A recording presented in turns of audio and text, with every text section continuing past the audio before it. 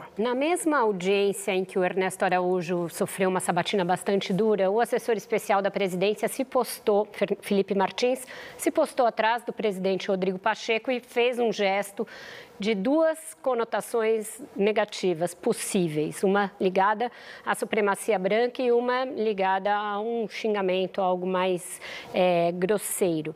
No entanto, parece que a demissão do Ernesto tirou o foco de cima do Felipe Martins. O Senado vai deixar barato? Acha que levou a cabeça do Ernesto, então está tudo bem manter o Felipe Martins? É, não, se trata de um, não se trata de uma troca e nem de uma questão de honra.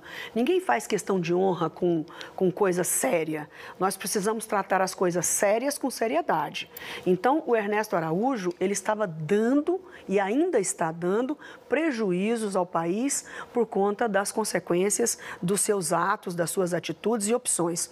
E este ato deste rapaz, desse filhote do gabinete do ódio, é assim que as pessoas chamam ele, né, que vive nas, nas redes sociais atacando a mim, a você, a Thaís, a Patrícia, qualquer um que se oponha a uma realidade que, que o inspirador Olavo, que mora por aí no mundo e que se acha muito importante e essencial e tem dado muito prejuízo ao país. Então, esse rapaz é um filhote desse, desse inspirador, é, desses ataques e desse gabinete de ódio, se é que existe, é, precisa ser punido como qualquer um de nós.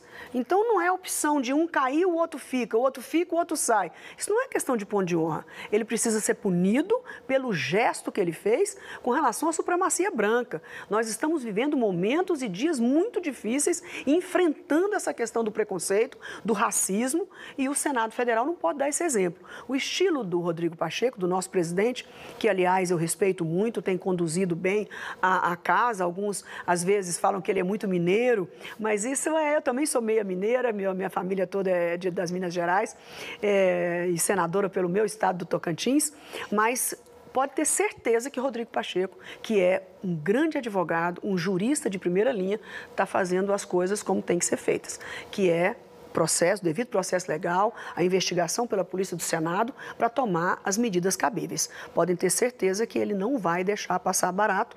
É, principalmente pela respeitabilidade que o Senado merece.